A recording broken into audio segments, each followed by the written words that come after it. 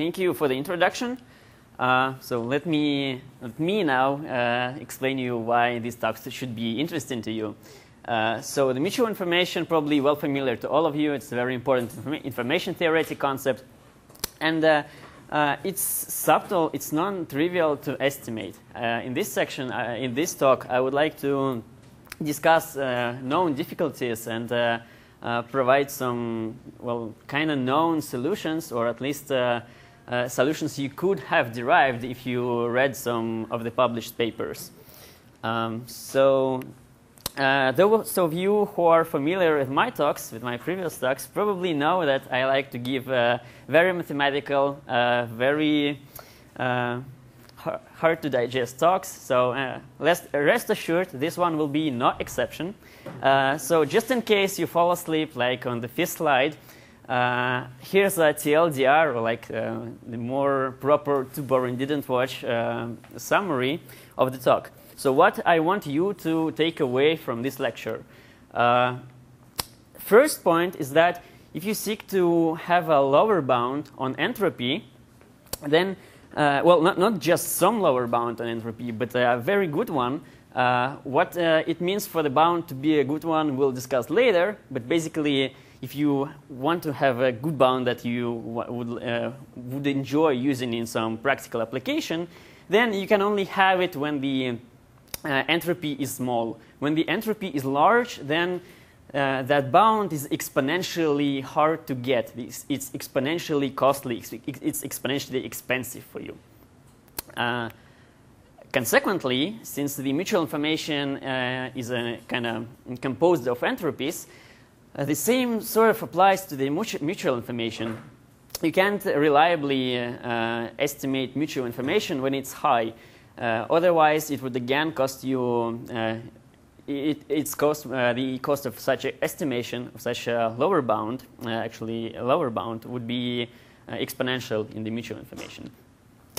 this is obviously not something you would like to have. However, we can actually come up with some good lower bounds if we uh, give a, uh, if we uh, step away from the black box assumption. If we actually know something about densities, uh, we would like to estimate the mutual information for about the random variables and their behavior, then things are much more easier. Uh, now, uh, you might not only be interested in lower bounds, but also in upper bounds. Lower bounds are good when you want to maximize something. Uh, then maximizing the lower bound will in, uh, eventually lead to maximizing the actual quantity you're lower bounding. But what if you want to minimize the mutual information? Uh, then uh, a natural thing to minimize would be an upper bound. Can we have good upper bounds? Well, turns out yes, if we know uh, some, uh, if we know distributions. Uh, and uh, the final uh, thought is that well, mutual information is not the only measure of dependence between random variables. Maybe some other measures will be easier to work with. Um, and people have already uh, made some preliminary research in this direction. Uh, we'll briefly touch on that uh, also. So the mutual formation, what is it good for? Uh, uh, it has uh, many different equivalent definitions. the ones I have here is just the difference of entropies. The mutual information between random variables x and z is equal to the difference of entropies. It's uh, you subtract uh, from the entropy of z the measure of uncertainty in the random variable z, the entropy of z conditioned on x, uh, how much uncertainty there is left in z once you know x. Uh, it's a very intuitive measure uh, of information. Uh, it's also can, it also can be expressed in the terms of a well-known divergence, the Kullback-Leibler divergence, as the KL divergence between the joint distribution and the product of marginals. Uh, so its uh, theoretic information interpretation is that it captures the amount of information one uh, random variable carries about the other. Uh, has this uh, sits here on this uh, Venn diagram. so why should you care about mutual information? Well, its nice information theoretic interpretation has led it to be a um, very useful tool, very useful measure in many practical applications. Like for example, since we are all kind of uh, interested in Bayesian deep learning here, you can use it to measure posterior collapse in latent variable models like VAE. It's a very natural me measure that uh, basically uh, estimates uh, uh, that is equal to average KL divergence between the true posterior and the prior distribution. If the true posterior deviates highly from the prior, that means that the model uh, heavily relies on the latent representation, something you would like to have from the latent variable models like VAEs. Uh, conversely, if uh, this mutual information is equal to zero, if there is no relation between the samples from the generative model and the latent representation, then obviously you failed to learn your VAE. Uh, you could have just uh, learned the um, explicit density model right away um, without any variational stuff. Uh, there has been a lot of applications in the representation learning uh, community. Uh, many works on that that basically say that okay, you have some um, complicated object X, and you are interested in learning a representation that, that uh, captures as much information as possible, that basically uh, encompasses all the knowledge there is in X. And uh, this is done by saying that, okay, there is an encoder E theta, parameterized by parameters theta, and we want to maximize the mutual information between the original X and the uh, representation obtained through the encoder. Uh, this is uh, usually not the mm, the only objective, but is like a kind of a regularizer that says that you should uh, that representations should be very uh, informative. Uh, you might also be interested in control independence. Uh, that is, uh, since mutual information is equal to zero only if and only if the random variables are independent, then this is a, a good tool to enforce independence between random variables. One application for that is in fairness. For example, suppose uh, you want, uh, you're like um, at a bank maybe and you give law, loans to people. Uh, well, you don't want to discriminate people uh, based on their race, for example, or gender, because this would lead to so, uh, social uh, instabilities, social inequalities, and well, it's an unethical thing to do. Uh, but how can you actually guarantee that you are not discriminating based on these features? Of course, you would not include them in the model, but they can still sneak into your predictions. Maybe people of certain race tend to live in uh, uh, more poor regions of the city, and you have this geographical uh, feature of, uh, in your uh, feature set. Or maybe through uh, th this information can leak through some other features uh, that you uh, don't, um, don't know to be carrying this information. So a way to so this is called the demographic parity in this field of study. And the way to solve this problem is to say, okay, there is uh, sensitive information C that we don't want our model to be using when it's making prediction Y for the input X. So we just want to enforce uh, that there is zero mutual information between the prediction and the sensitive information conditioned on the, all the, uh, on the uh, representation X that we know about the people that our model is using, uh, conditioned on these features used for the prediction. Uh, it also can be used in uncertainty estimation. Uh, it has been used in information in famous, I guess, information bottleneck principle uh, to analyze neural networks, uh, and there are many more applications. Uh, so how do you actually estimate it? Well, if you actually know uh, the densities, if you know uh, both the marginal density and the uh, and both uh, uh if you know both marginal densities and the joint density, then things are easy. You can just form a Monte Carlo estimate. But uh, oftentimes uh, you don't have uh, this full knowledge. Sometimes you don't know any distributions. You can only sample from the joint and this from essentially from the marginals or, or from yeah from the marginals. Well, uh, then we are out of luck with the uh, unbiased estimate of the mutual information itself. There are some estimators out there, but they are not guaranteed to be either unbiased or lower bounds on, or upper bounds. They are just some estimators. Uh, we would like to be more than that. We would like to ha have some guarantees. Uh, in particular, we'll be talking about lower bounds and upper bounds. So for lower bounds, I claim that uh, you can basically split it uh, in four different cases. Uh, so guess just to remind you, I'll write down here the formula for the mutual information in large.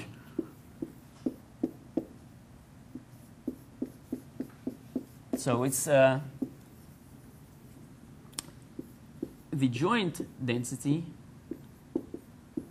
divided by the product of marginals,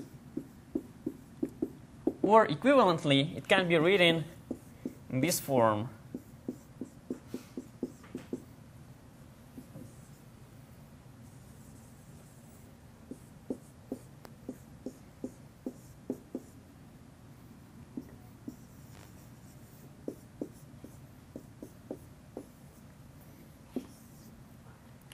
All right.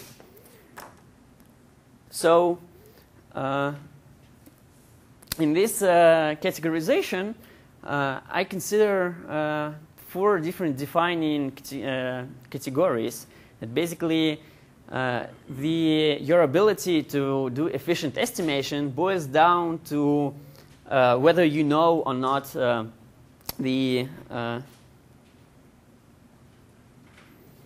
Uh, the, the, marginal distribution on Z uh, and the decoding distribution on X. By I know you mean uh, have, having access to yes, yes, function. yes. You can evaluate the density function. Uh, we always assume that you can sample from the joint and thus form samples from any of the marginals. Uh, so what I'm, claim, uh, what I'm claiming is that if you don't know the marginal distribution of uh, z or x, they are kind of symmetric, uh, but we will uh, be talking about the marginal distribution on z and conditional distribution on x, uh, just to fix the particular or ordering. So if you don't know the marginal distribution, then things are hard for you. Uh, but if you do know the marginal distribution but don't know the conditional distribution, then things are not uh, as good but still manageable uh, you can have some, uh, you can have good bounds uh, there. Uh, finally, if you know the joint, essentially, both the prior distribution and the conditional distribution, then things are very good. So for upper bounds, the situation is similar, but it's transposed. that now you need to know the conditional distribution. otherwise, things are hard for you. Uh, but uh, not knowing the density is not that punishable. So in a sense, you can see that these two are transposes of each other, uh, and there is, uh, and this is not a coincidence, of course.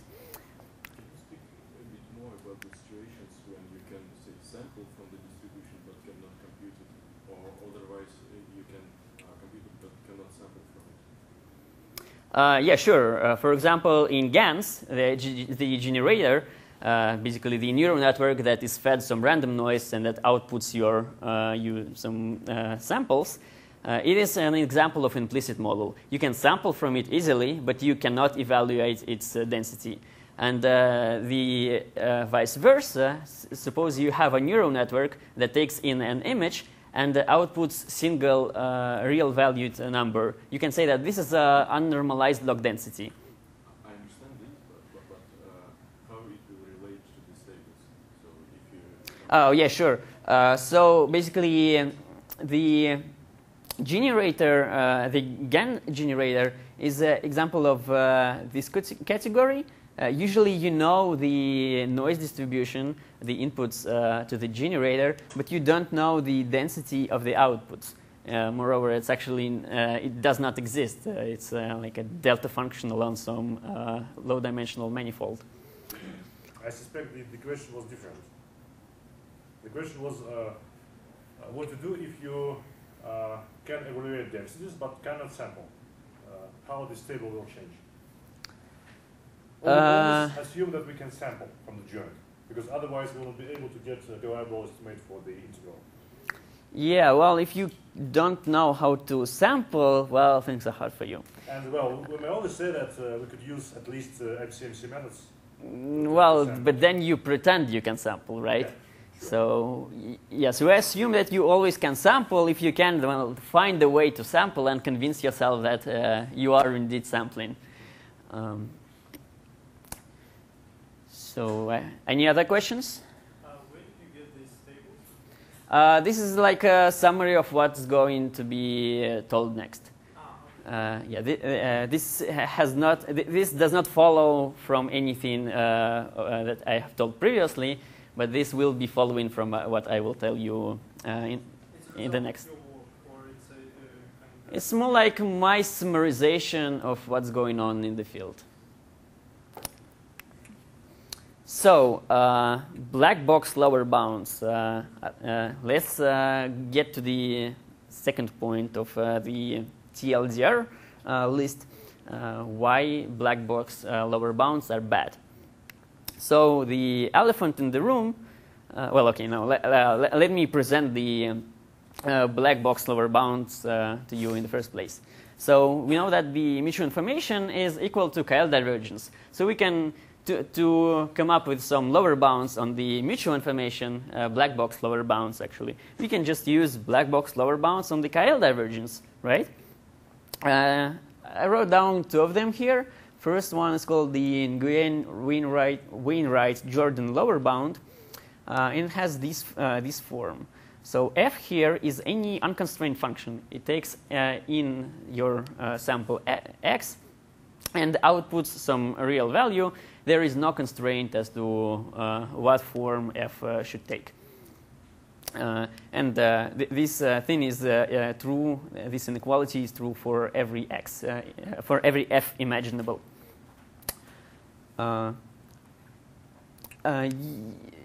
You can derive it using essentially a Fenchel conjugate for the minus logarithm.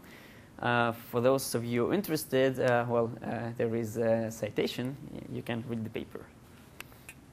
Uh, a, a more tighter version of this bound is called uh, the Donsker-Varadhan lower bound, and it uh, has this form. So basically, you can see that, uh, well, you can convince yourself that uh, this extra term here is uh, bound on uh, this uh, logarithmic term here. That basically, the logarithm can be upper bounded by its argument uh, minus 1. So what is this f function?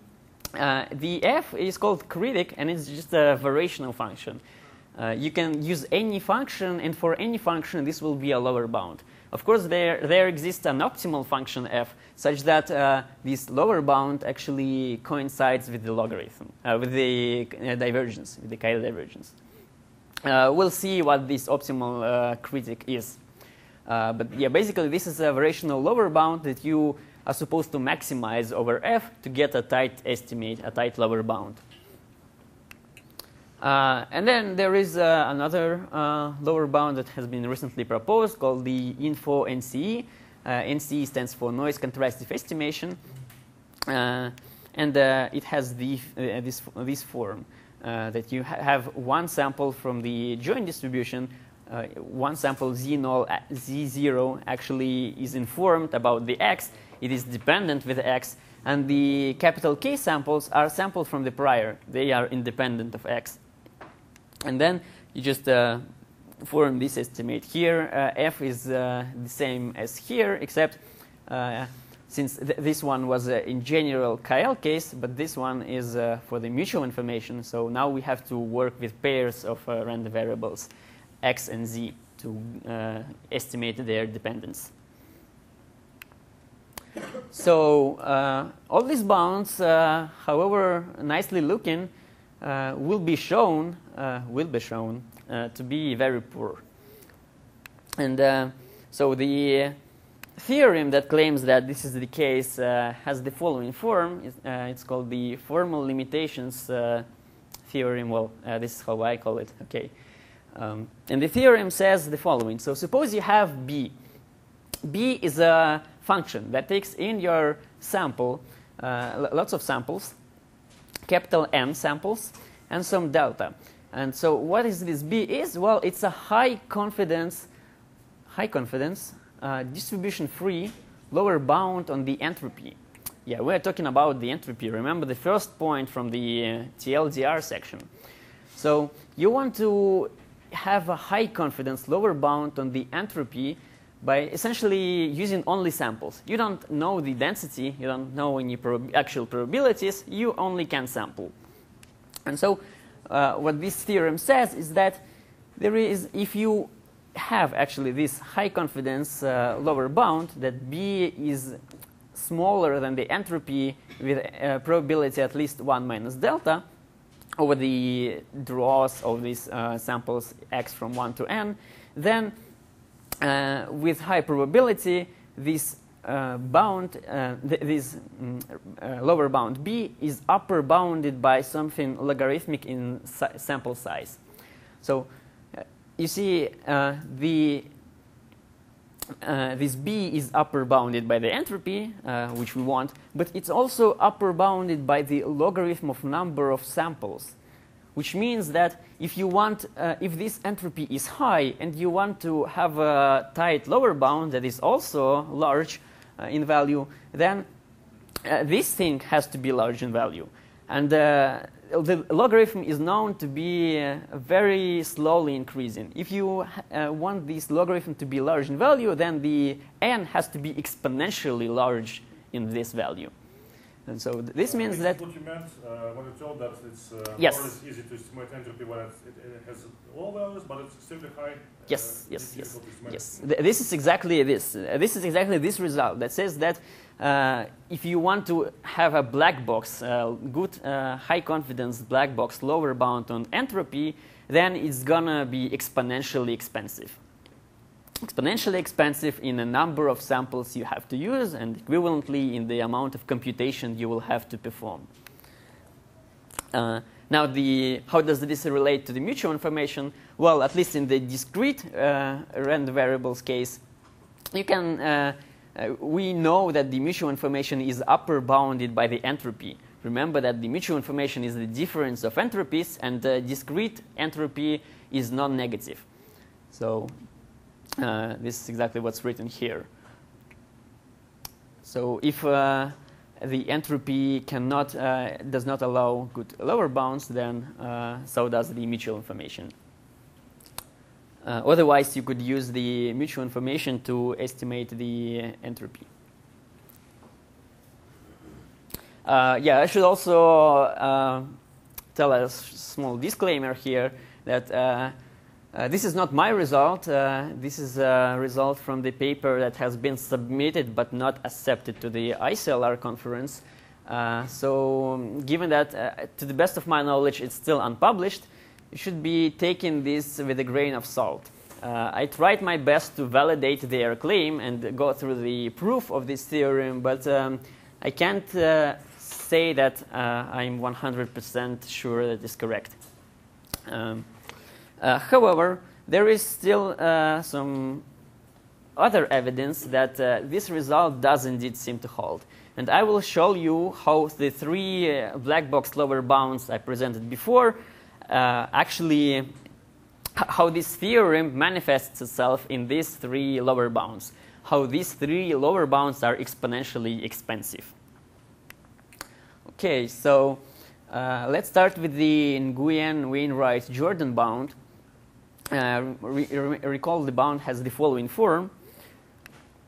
Then the optimal critic, uh, the optimal function f, uh, that you would recover if you were managed to, if you were to maximize uh, this uh, right side with respect to f, would have the following form. It's just the logarithm of density ratios, the logarithm of b divided by the q. Now, if you well, of course, you, can, you can't integrate these expectations analytically. So what you do in practice is you form Monte Carlo estimates, uh, since you only have samples, right? So uh, you sample capital N samples from the P distribution, uh, capital M samples from the Q distribution, and form the following Monte Carlo estimate. You can see that it consists of two parts. The first part is basically a Monte Carlo. So yeah, Uh, in this case, we're assuming that the critic is optimal. What I'm going to show you is that even if the critic is optimal, things are not great. Uh, probably it's not much better when the critic is suboptimal. So when the critic is optimal, the first term, this guy, essentially is a Monte Carlo estimate of the KL divergence. And uh, the second term, uh, as you might expect, uh, has zero expectation, but uh, it has non-zero variance. And uh, we'll see that uh, its variance is actually the source of the problem. It contributes huge variance. the one reason for that is that, you see, the first term was operating in the log density spaces. The log densities are uh, very nice uh, objects. They are well performing and they usually uh, do not vary too much. Whereas the second term operates on the ratio of densities. This is a very wild object. Whenever you see one in machine learning, you should be very wary of them. Uh, they might bite you with their enormous variance. Uh, in, yes, indeed, uh, you can show that if you write down the variance for the second term, then it's essentially uh, the chi squared divergence between the p and q uh, that has been divided by the number of samples capital M. The chi-square divergence uh, uh is, uh, ha has one particular property. It is uh, lower bounded by the exponent of the KL divergence. So it's exponentially bigger than the KL divergence. It's a very fast growing, quickly growing divergence here. So if we know that the variance is at least exponential, then that means that this term contributes a lot of noise in both directions uh, compared to the, to the first term. That means if you want to, if you want to prevent uh, the whole estimate to be deviating too much uh, further away from the um, KL divergence, from the optimal uh, thing, to, to ensure that the quantity is a lower bound, not an upper bound. Uh, that is, uh, it is lower than the objective you're interested in with high probability, then you would need to use many samples to drive this variance down. You would like to drive the variance of the second term as much as possible. And well, uh, this thing says that uh, the number of samples, well, this is the only thing you can control here to drive the variance down. Uh, th then the number of samples has to be exponential in the KL divergence. Uh, this is the example of this exponential cost of good uh, lower bound. Uh, yeah, so I guess I hope I convinced you that the Nguyen Wainwright Jordan bound is expensive. Let us now move on to the Donsker-Varadhan lower bound. Uh, so it has the following form. It's very similar, except uh, uh, here you have logarithm. Uh, so now th there is, let's just, um, yeah, the, the, the, optimal critic is still the same. It's uh, the, the, same function, the same uh, logarithm of density ratios. Now, let us just again, since we can only use samples, let's just replace the expectation with the empirical expectation, uh, the following form. Now, uh, of course, you would not notice and say that, well, wait a minute, this is not an unbiased estimate anymore. By uh, the logarithm, uh, in, the expectation inside of the logarithm prevents us from having an unbiased estimate. This is now a biased estimate, and uh, well, by the Jensen inequality, you can say that this is an upper bound on this lower bound, but it's we don't know anything about its relation to the original KL divergence. It might be lower, it might be uh, bigger. We, we can't tell for sure. We can't guarantee anything.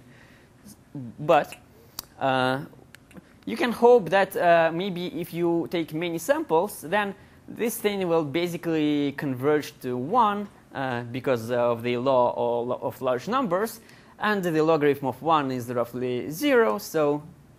No, uh, it's not 0. It's exactly 0. Uh, in practice, it's roughly 0. um, so it's zero, and uh, then you recover what you are looking for. So maybe if the number of sample, samples is large enough, then these uh, extra bias we are suffering from is not that great, and it's uh, toler- tolerable. So how many samples do we need? Well, bad news. Uh, uh, things of this form have been studied already, and well, basically, people have shown that uh, the although uh, the expected value uh, of this quantity, um, so yeah, uh, the expected quantity of this bias, uh, the expected bias, uh, has the following form with respect to m, the following asymptotics. So it's decreasing as, as fast as the variance of what we have under the logarithm is decreasing. And um, as we know from the previous slide, uh, it does not decrease fast. It takes exponential number of uh, uh, values, uh, exponential number of samples, capital M, in order to drive it uh, to one at least. So uh, this hints us that this bound is, is not better, is not any better. It's also requiring exponential number of samples, otherwise we would be suffering from high bias. So the info NC lower bound, uh, it's probably the one easiest to show that it's um, upper bounded by the logarithm. You can basically do this directly. Uh, the optimal critic now has uh, this form. Uh, it's slightly different, uh, uh, but since it's um, yeah, it's slightly different, but just because it's a lower bound on the mutual information and not the KL divergence. And there are two types of relational parameters here, f and uh, k, right? Uh, yeah, yeah. The, there are two parameters. The k is number of samples from the prior you're using, and the and for uh, case, the optimal f is, is the same. yes. So uh, you can basically show directly uh, that uh, this uh, lower bound is upper bounded by the log of number of samples plus one. Mm, how do you do this? Well, it's uh, very easy. You just move out the 1 over k plus 1 from the denominator. You get this term. And then what you are left with is uh, the expectation, the exponent divided by the sum of exponents.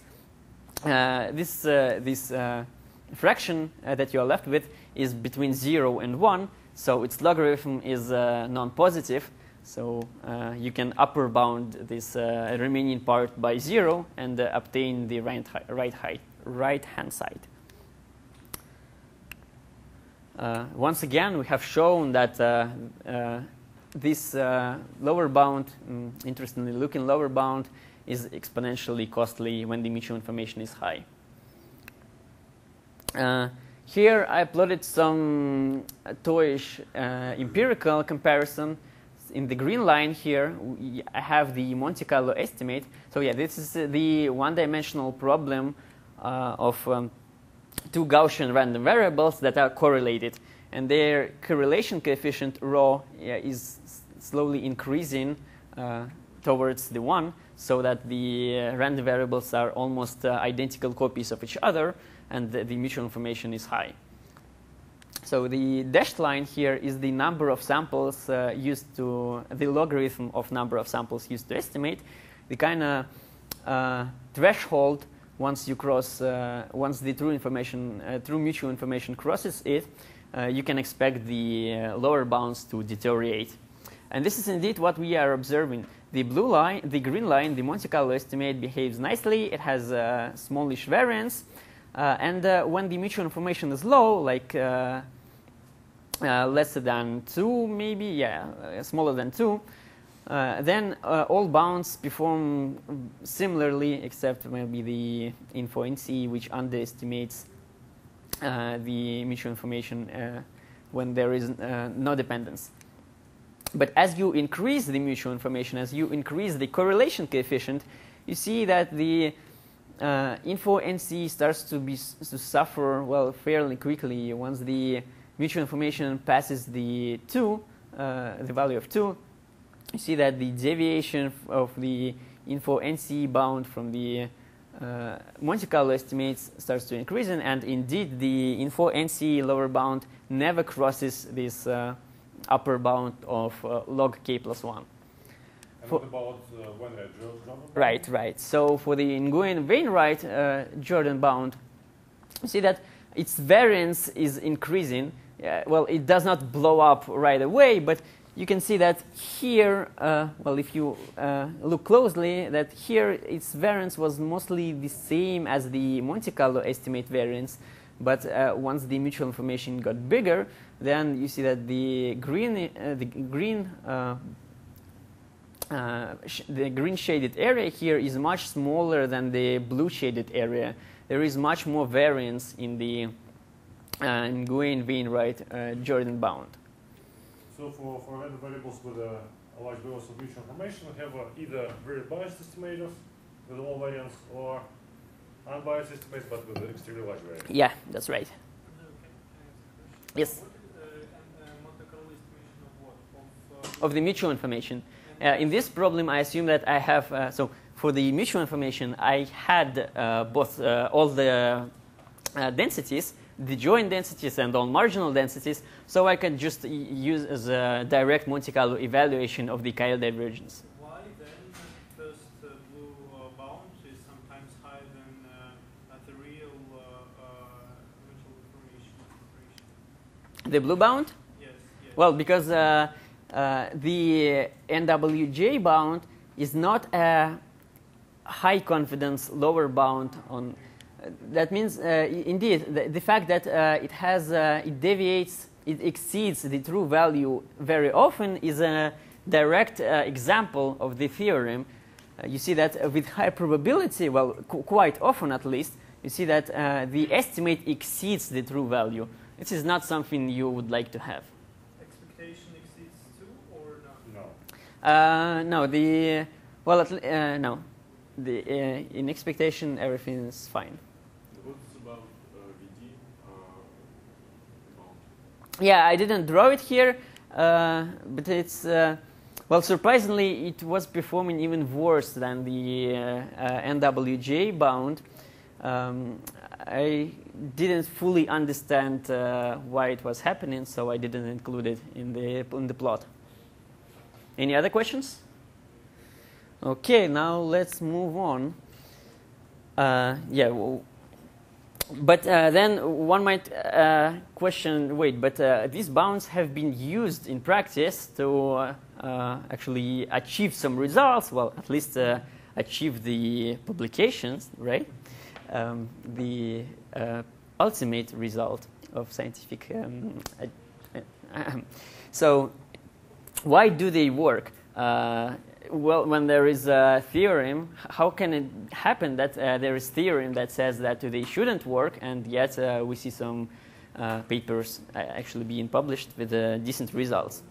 Well, there is another paper that's been out recently that has this name. It's also not peer-reviewed, and mm, maybe some of you will be reviewing it. So, um, well, the only thing I'm going to tell you is that uh, in this paper, uh, authors asked uh, the exactly exa- exactly the same question: Why do uh, mutual information estimators, uh, why do representations learned using mutual information maximization work so well when there is theorem that says you can't estimate mutual information reliably? Well, uh, they uh, provide several evidence, some evidence that um, the mutual information maximization perspective is not the right thing to do, uh, not the right way to see these methods. These methods might be working for a different reason. And they show this uh, by arguing that uh, first, they, the tighter bounds, the ones with better critics, uh, better Fs, do not translate into better representations. Sometimes you want to cripple your lower bound with the inferior critic with some bad function f in order to get good results. Uh, then, if you have uh, invertible representation, then seemingly the mutual information has to be independent of your uh, encoder, if your encoder is invertible, then it has it, should it has maximum achievable mutual information with the original uh, random variable x. And uh, there is no there, there shouldn't be any actual learning signal because no, more, no matter which uh, representation, which encoder you use, they all are invertible, and hence uh, all uh, possible, all information there is has been already stored. So this means that uh, the mutual information is, is maximal. Yes, yes. Although there is small technical detail, is that the Sure. the, ma- the maximal value of uh, mutual information in continuous case is equal to infinity. Um, not a very good uh, thing to work with.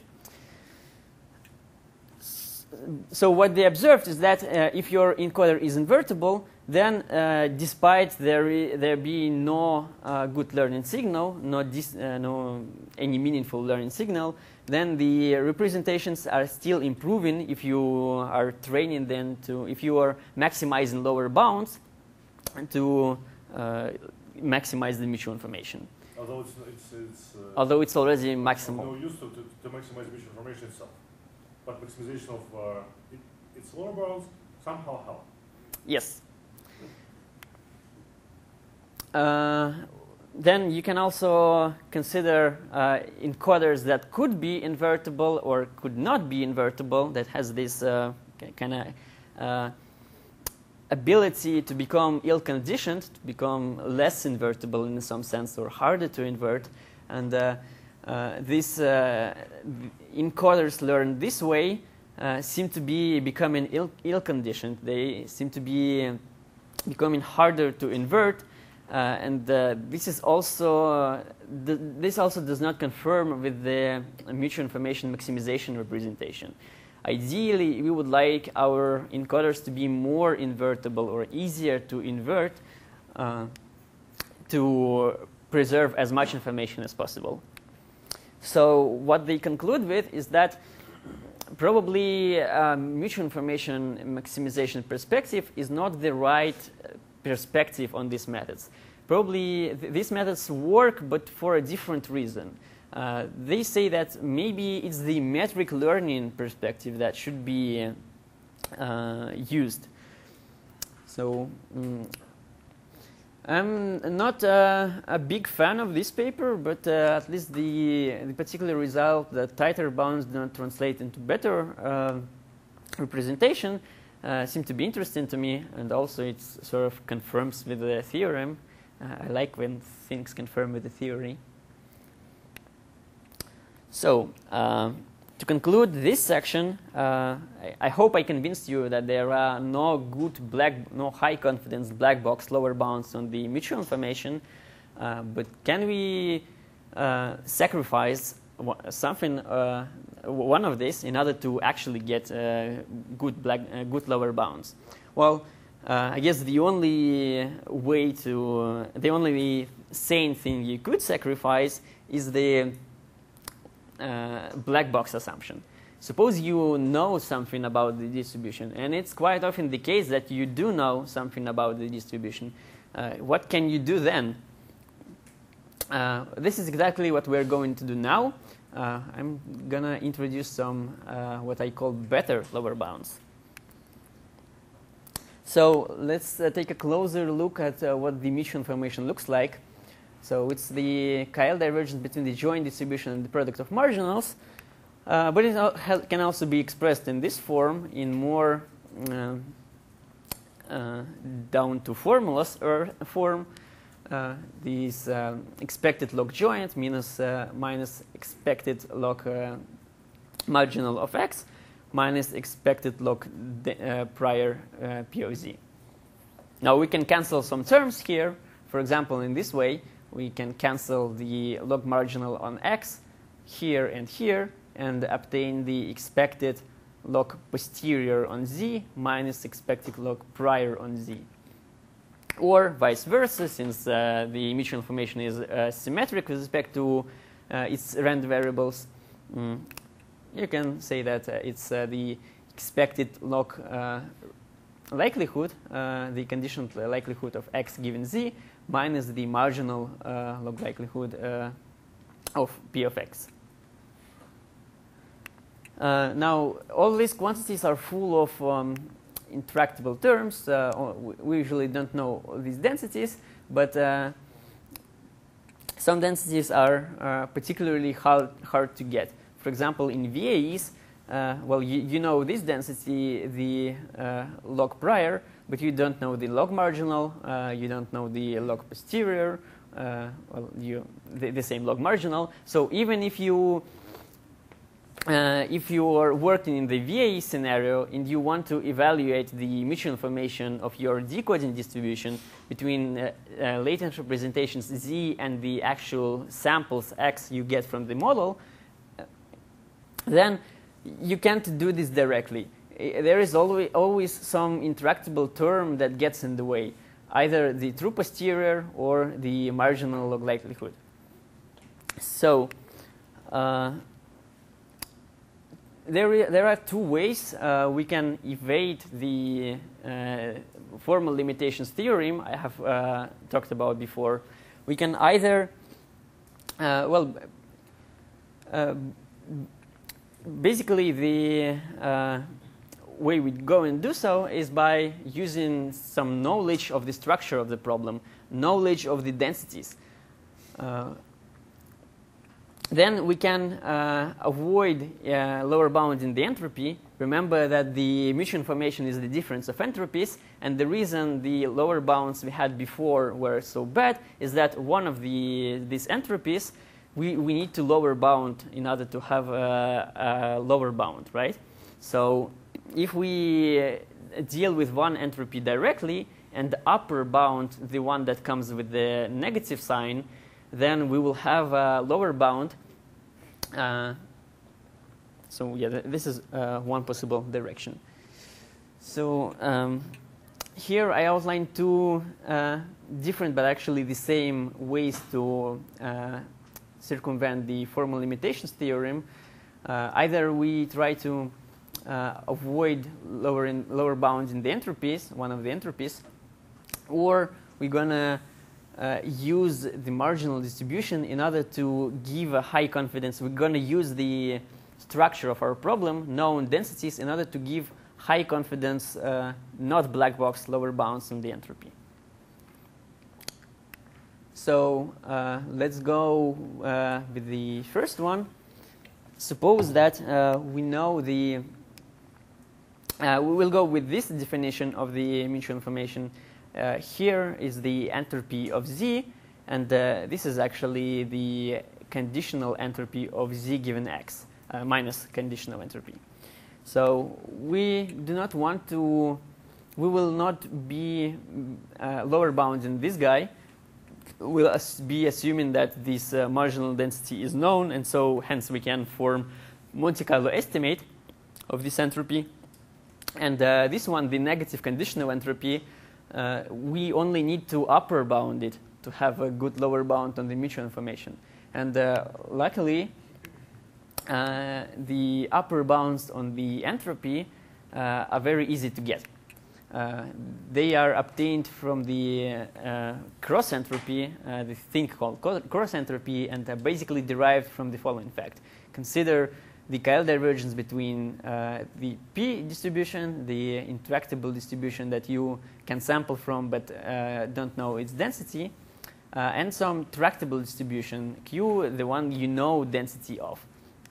So then uh, this KL divergence is equal to this guy, and by rearranging terms, by just uh, moving the uh, expected log P to the right-hand side, you see that the minus expected log probability of x is upper bounded by this thing. And uh, here on the right, you have exactly the entropy. So the entropy is upper bounded by this, uh, well, cross entropy, essentially. So uh, by uh, putting, by upper bounding this uh, uh, negative conditional entropy with cross entropy, one obtains the following lower bound called the Barber Agakov lower bound for the uh, people who first, uh, apparently the first, were, were, the first to introduce it. Uh, is it from my paper? mutual information yours? No, no, no, no. This is a very old paper from 2003. Not, not so old. Very extremely old. It's like a pre-deep learning area. That's right. Uh, the MINE paper, the mutual information estimate, uh, we're using the Donsker-Varadhan uh, bound. And um. I thought that uh, they also used relied on that on that fact. no, no, no. Uh, th- their bound was not actually a lower bound. They had some, so they had an upper bound on the lower bound. So uh, it's not guaranteed to be sure? yes. Uh, another uh, possible direction, as I said, is to give a high confidence lower bound on the entropy. Uh, but uh, to do so, we need to use some. mm, we need to know the density. We need some structural assumptions, and we, we're going to go with the same structural assumption this time. We're gonna uh, again we're gonna assume that we know the marginal distribution of z. So this time we're going to go with this formula. Again, it's the conditional entropy of x given z uh, mi- minus conditional entropy plus the marginal entropy of x. So uh, it turns out if you use if you know the prior distribution p of z, then you can have a good lower bound, good uh, upper bound on the marginal log likelihood, and hence the uh, good uh, lower bound on the marginal entropy of x. But why do we need to use lower bound if we know the, the marginal exactly? Uh, well, uh, we know marginal on z, but not on x. Ah, We could use the previous the approach from the previous slide, and uh, one can see that they are uh, actually the same. Uh, this is just uh, another way to see the same bound, uh, kind of the same. So, uh, those of you who have attended my talk um, last uh, spring um, know that uh, I have proposed an upper bound for the marginal log uh, likelihood uh, that has uh, that can be generalized into this form. Uh, there should be. Oh, okay. Well. Uh, yeah.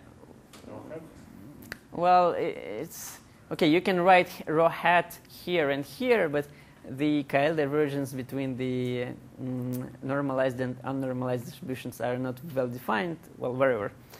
So uh, you can show that uh, the log uh, marginal likelihood is upper bounded by the following quantity.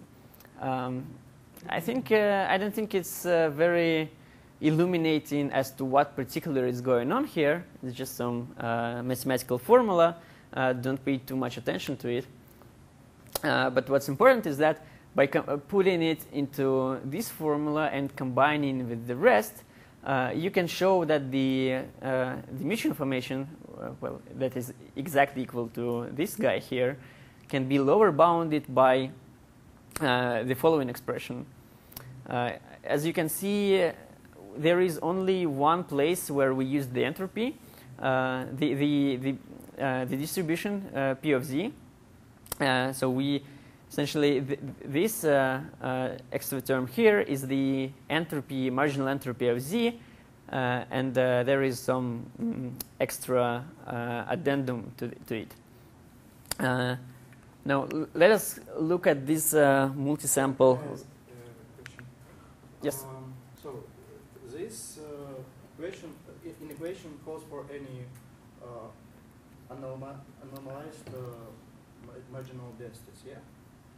Uh, Or, non- or, or joint densities. So the rho hat here is uh, a variational distribution that uh, sort of approximates uh, the joint distribution, and the Q is a normalized distribution.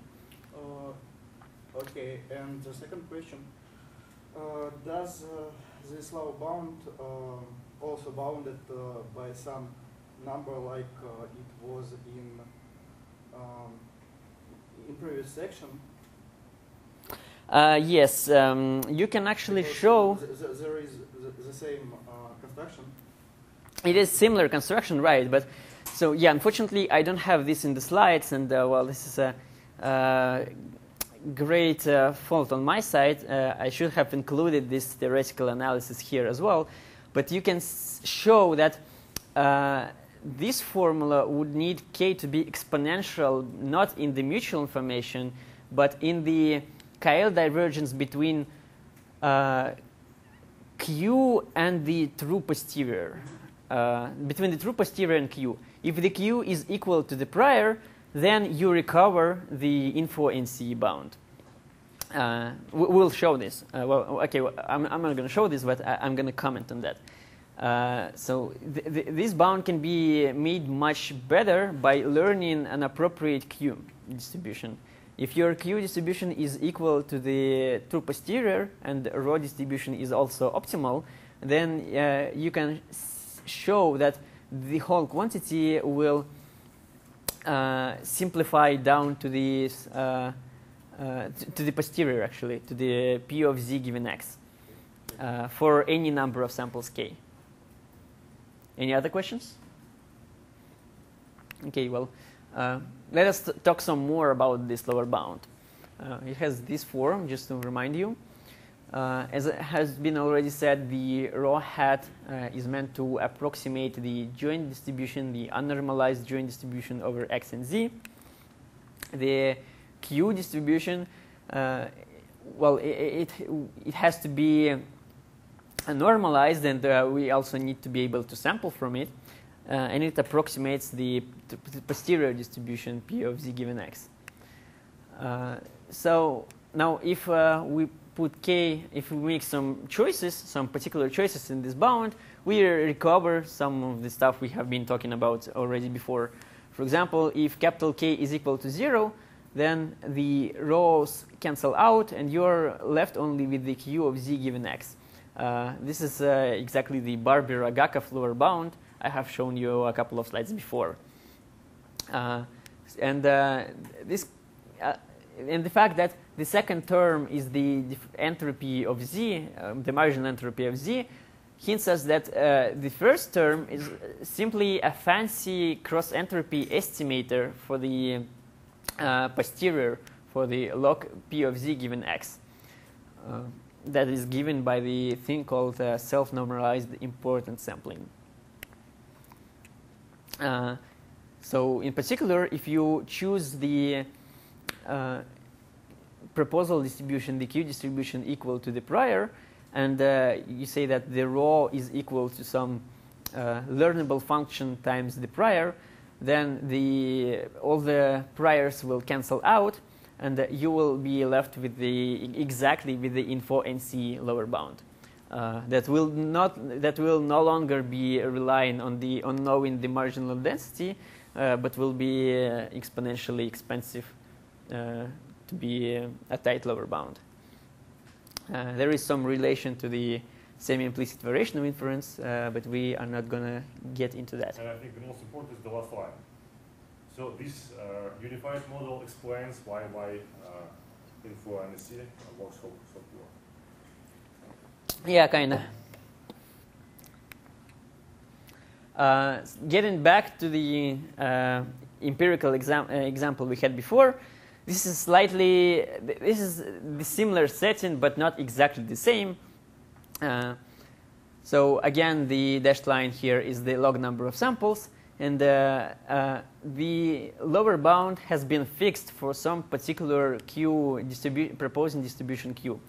Um, I didn't optimize it before because in this case of uh, Gaussian distributions, you can recover the true posterior exactly. The true posterior will be also Gaussian, and if I were to optimize uh, this distribution Q over parameters uh, over its parameters, then I would rec- uh, exactly mm, recover the red line, the Monte Carlo estimate. Uh, instead, I, I wanted to see how the bound performs for suboptimal, uh, for fixed values of for fixed for fixed proposals. And here are three different choices. Uh, you can see that uh, they all managed to evade this uh, logarithmic curse and uh, break this uh, log number of samples samples threshold. Well, it seems that uh, just the threshold became a bit larger, but they still have some. Uh, well, yeah, they do. But uh, as I said, it's now defined by uh, how good your uh, Your posterior approximation Q. So basically, the whole uh, thing of taking multiple samples saves you, gives you some uh, additional bits. Uh, if uh, if your KL between the true posterior and Q is equal to say uh, A, then uh, you can reduce this A by log k bits if you use capital K samples. Can, can, we use some normalizing flow for proposal and this will be quite good approximation.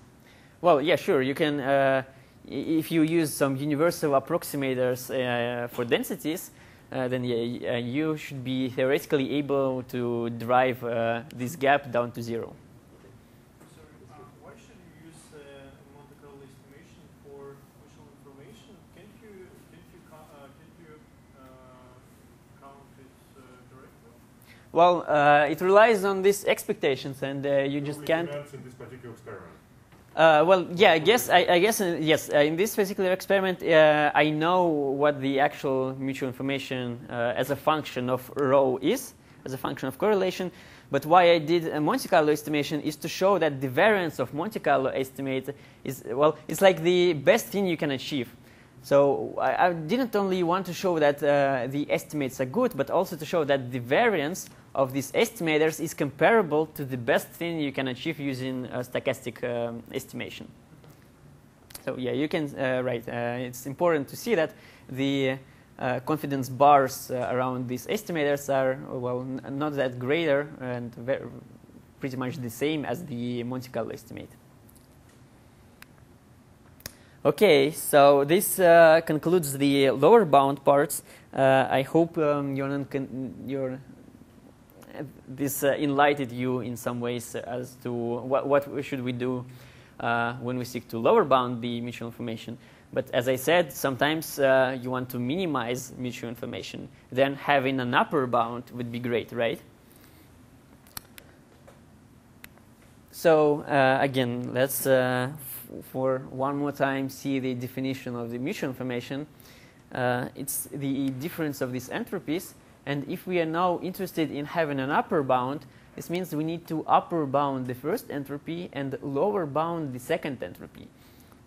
Now, as we know, uh, good lower bounds on entropies do not exist.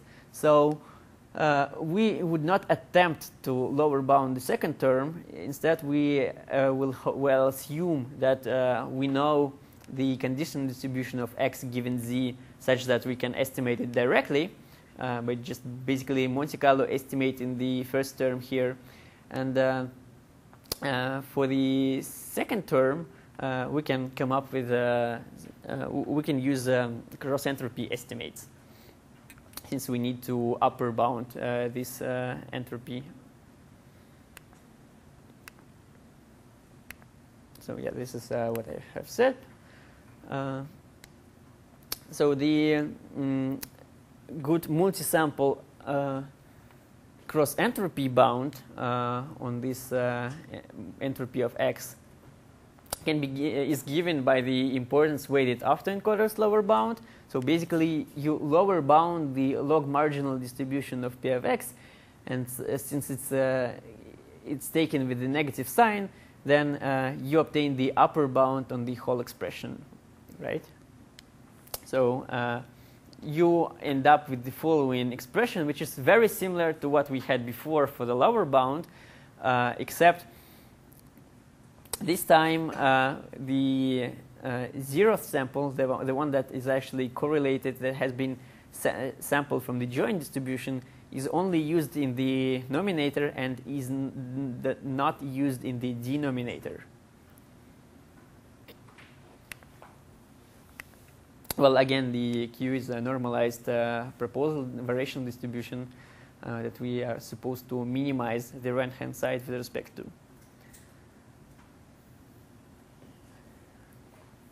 You can put uh, the Q distribution equal to the prior, and then the you will not be needed to know uh, the prior distribution. Uh, this uh, uh, q and the prior will cancel out, and you'll be left with the conditional distribution p of x given x uh, given z uh, k in the denominator. Uh, this is the uh, the case where you uh, know the conditional distribution, don't know the marginal distribution, and uh, well, there is something you can do, although uh, this, the, this particular choice uh, is likely to be a very poor one, much like the InfoNCE lower bound. Simple, strange question, but if you know the prior on the z and if you know the posterior on x, uh, why don't just use Monte Carlo estimate? Uh, Well, you can't. You see, uh, you, you need to know distributions on the same quantities. If you have a distribution of, of on x given z, then you also need to know the marginal distribution of x. If you know the marginal distribution of z, then you need to know the posterior distribution of z given x. Uh, uh, well, because uh, the mutual information is expected KL divergence, and KL divergence needs uh, to be operating in the same domain. See, so here uh, basically, uh, in the, here it's written as the KL divergence between the joint and the product of marginals. If you cancel out one of the marginals, then it goes in the conditioning part.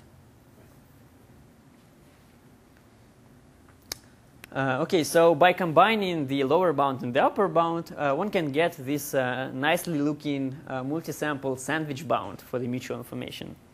Uh, looks very interesting, especially the fact that uh, in order to make the bound tighter, you are supposed to maximize the lower bound and minimize the upper bound, and they are pretty much the same with respect to Q distribution, right? Uh, very interesting mm, detail. Oops. Uh, well, so, What about variance of the right uh, of the upper bound? uh, well, I don't have any analytical uh, statements for that. Uh, empirically, the upper bound is mostly IWAE bound, importance weighted autoencoders bound. Uh, and so i it's the same cross entropy estimator. Cross entropy estimators. Uh, so we, okay, uh, in the formal limitations paper I have mentioned, people they have argued that uh, okay, just replace both entropies with cross entropies, and this will give you a good estimate. Uh, it will not be an upper bound or lower bound uh, because it will be a difference of uh, upper bounds. Uh, but uh, it, it converges very quickly. It, it, it's hard to say what the bias is, but uh, the convergence is like the standard for Monte Carlo. So uh, they behave uh, very nicely. Uh, and yeah, well, they're basically based on the cross entropy estimator, which is widely used. All of maximum likelihood estimation is based on the cross entropy principle. Uh, okay, so uh, now the last part is that uh, is that we have seen that the mutual information suffers from the fact that it's hard to uh, reliably lower bound the entropy. Uh, but uh, so what the mutual information is, it's just the KL divergence between the joint distribution and the product of marginals. It's a very nice one, however, for one good reason. Uh, this one reason being is that the mutual information has very good, very uh, easy to understand information theoretic interpretation. It's very natural measure for the information between that one random variable has about the other.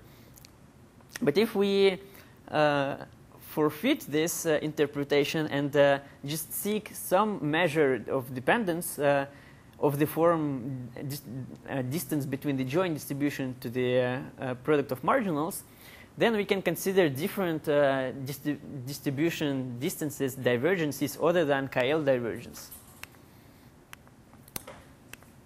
For example, one can consider the reverse KL divergence. The KL divergence between product of marginals and the joint distribution.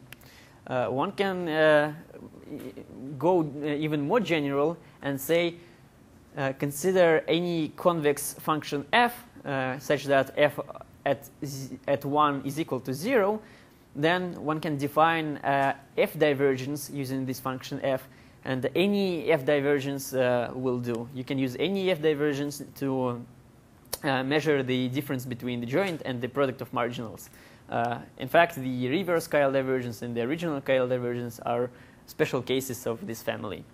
Uh, or you can use uh, Wasserstein, say Wasserstein distance, uh, any distance of, non-distributions. In fact, people have already used this uh, Wasserstein distance uh, measure.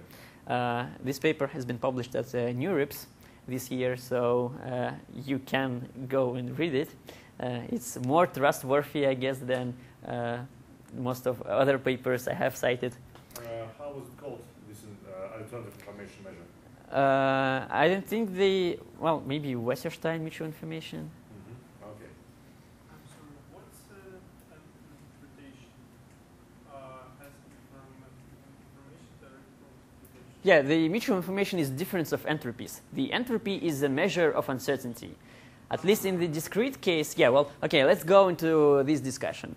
Uh, if your random, if your random variables are discrete, if your random variables, After similar. No, this this is important. This is important. Uh, if random variables are discrete, then the entropy is finite.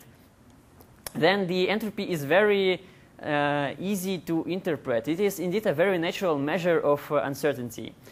Uh, however, if the uh, if random variables are continuous, then the entropy, the differential entropy, can be negative. Uh, it can be infinite. Uh, this is uh, very unintuitive. Uh, in fact, uh, uh, it's not clear if your random variables coincide, if a- x and z are equal to each other with probability 1, then if they are discrete, this mutual information has maximal value of entropy of x, which is um, very in, which is very meaningful. Uh, if random variables coincide, they have they one random variable carries as much information about the other as there is as there is uncertainty in this other variable. This makes a lot of sense. However, if um, uh, x, x and z are continuous, uh, then uh, this mutual information will be infinite if they are equal to each other. And this makes no sense. There is no infinite amount of information. Um, although, so maybe in the continuous case, uh, we shouldn't rely on this information theoretic interpretation. I don't think there is uh, much of information theoretic interpretation. In the continuous case, I think you are free to, go, to use any distance you want. Uh, so yeah, uh, this is the discussion I wanted to have. To have. Uh, but yeah, so in the discrete case, at least, these alternative divergences would lack information theoretic um, description, uh, information theoretic justification, uh, which is not cool. So uh, I, am going to talk about one of these uh, choices, namely the reverse KL divergence. Uh, that is uh, given, so the mutual information is KL divergence between the joint distribution and the product of marginals. Uh, let us see what happens when the when we consider a different order of arguments, KL divergence between the marginals, the product of marginals, and the joint distribution. This thing is called the Lautum information. The Lautum is a mutual spelled backwards. Uh, very creative name. I, I like it. So uh, it has this uh, easy form. Um, it, consists of two terms. Uh, the one is the expected uh, decoding distribution, the expected probability of x given z that is expected over the product of marginals uh, minus the entropy of z, uh, entropy of x, sorry. So uh, this first term is uh, it's hard to deal with because it's well basically a cross entropy on something. So I don't know how to reliably estimate it. Uh, but the entropy term, yeah, it does allow some bounds. Uh, well, we have already talked about uh, distribution-free upper bounds on the entropy and uh, distribution not free lower bounds. Uh, we can use them here uh, in order to estimate to, to, have, to have bounds on these Lautum information. For example, the lower bound can be used using can be obtained using cross entropy. Remember, we have minus entropy on the previous slide well, th this guy here is the minus entropy. So we can uh, upper bound uh, entropy with the cross entropy, and this gives us a lower bound. Uh, I guess should, maybe it should be called Barber-Agakov lower bound on the Lautum information. Uh, uh, you can use uh, IWAE lower bound mm, to have uh, this kind of uh, uh, estimate, this kind of lower bound, the multi-sample lower bound. Uh, in, the, in the same spirit, you can use the IWHVI uh, upper bound to have uh, the upper bound that would have the following form. Yeah, so I guess that's it for the Lautum information, uh, it hasn't had much uh, practical applications. Uh, there is like one paper that introduces the Lautum information uh, and uh, one paper uh, that actually tries to use it. And I think there is one paper by Daniel. Okay, there was at least an attempt by Daniel to put it to practice. so it's not clear how practically useful it is in particular, it's not clear uh, if this uh, uh, if this term has any meaning. What what does it actually do? Uh, but at least it's uh, one way to measure uh, dependence between two random variables. so, as a as a pre-conclusion, I should say that well, basically, in these bounds we have derived, in these efficient bounds we have derived, we always relied on the uh, a lot of the bounds were derived using the uh, uh, bounds on the log marginal distribution. So th this uh, the log p of x. If you manage to estimate it uh, to lower bound it to have a good lower bound, then you obtain the upper bound on the whole mutual information. If you have good upper bound uh, upper bound, then you have a good lower bound on the mutual information. Uh, what we've been using uh, in this talk is this uh, process called self-normalized importance sampling. But this is not the only way to get good uh, uh, lower bounds. So you can use the cross entropy estimator, but this one will depend uh, a lot on your choice of the distribution of Q. It, it has to be normalized. What if you don't have expressive normalized distribution? Can you improve it? Well, self-normalized importance sampling is one way to do so. But uh, there, are, there are other approaches. For example, uh, one can use annealed importance sampling. It's a much more complicated procedure. We will not be uh, uh considering it in more detail, uh, but at least it is possible. Uh, so basically, the self-normalized importance sampling, it tries multiple different samples and selects the best one whereas the annealed importance sampling uh, takes whatever samples you have and tries to improve it in essentially using Markov chain Monte Carlo. And you can uh, leverage uh, power of uh, Markov chain Monte Carlo, especially gradient-based Markov chain Monte Carlo, and uh, have uh, maybe even much better estimates. Uh, it has a lot of, it has a huge can of worms. it's tricky to reliably work to to provably work with Markov chain Monte Carlo, uh, but at least it's a, mm, a possible, promising alternative direction. Uh, one important difference, though, is that uh, the self-normalized importance sampling is uh, very parallel. Uh, as you have seen from the formulas, you just ev evaluate uh, independently many different samples, and you can do this in parallel. You can leverage computational capabilities of modern hardware uh, like GPUs to do this uh, very fast.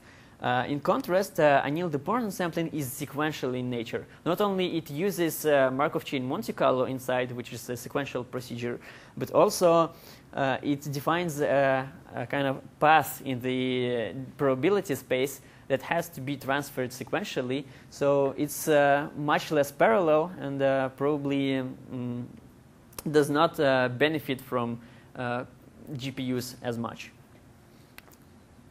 So that's it. Uh, let us uh, recap what we have been uh, talking about for the last an hour and a half.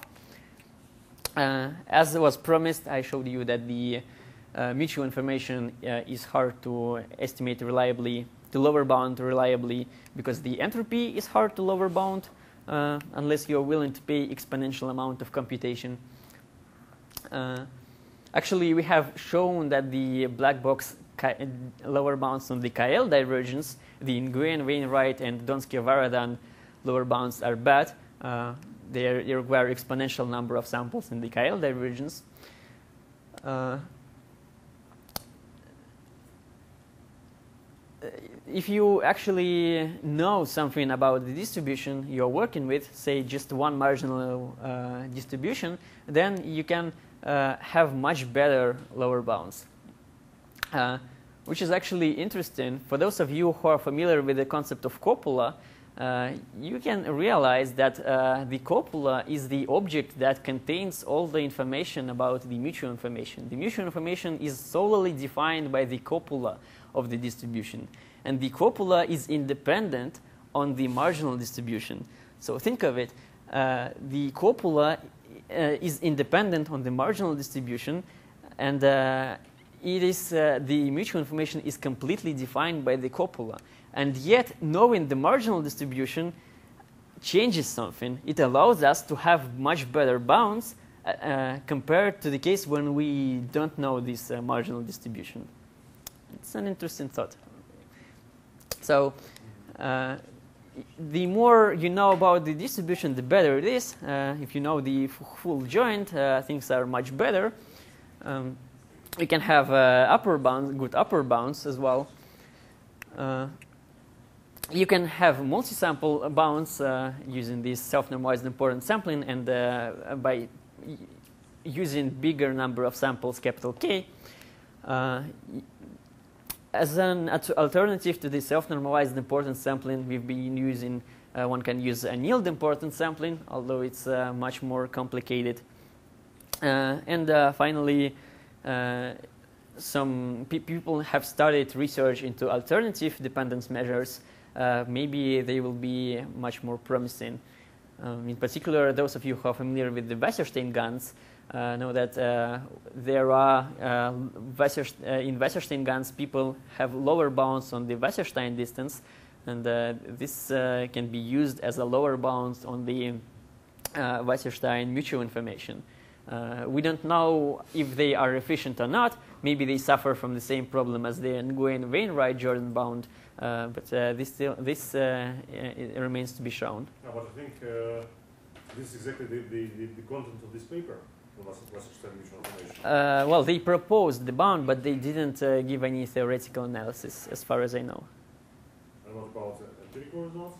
Well, they do have some empirical results, but as I said, there is uh, uh empirical uh, evidence for the. Yeah. Uh, yeah, as usual, I have blogged something, um, some more about this stuff. In particular, I have derived these AIS-based bounds so you are encouraged to subscribe, share, uh, you know, like, yep. all the standard stuff. Uh, that's it. Thank you.